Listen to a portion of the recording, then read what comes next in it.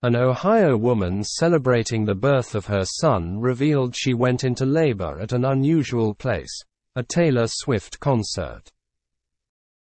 Tori Hedges said she was still a few weeks from her due date when she went to Swift's Eras Tour concert in Cincinnati with a friend. We were just happy we could get down there and go, hoping that I would be able to make it, and luckily was able to make it for the most part, Hedges told WBTV. Hedges, who was seated behind the stage in the upper bowl of the stadium, said she was climbing down from the area after the show ended when her water broke. It was literally not even 20 minutes after she got off the stage when we were leaving, going down the ramp. That's when I was like, I think, I think I got to go to the bathroom, Hedges said.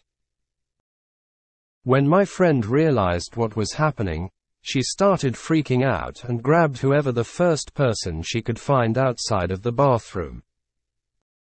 Stranger Nico Lakobuchi ended up placing the 911 call. I didn't even know her name. That's the funny part.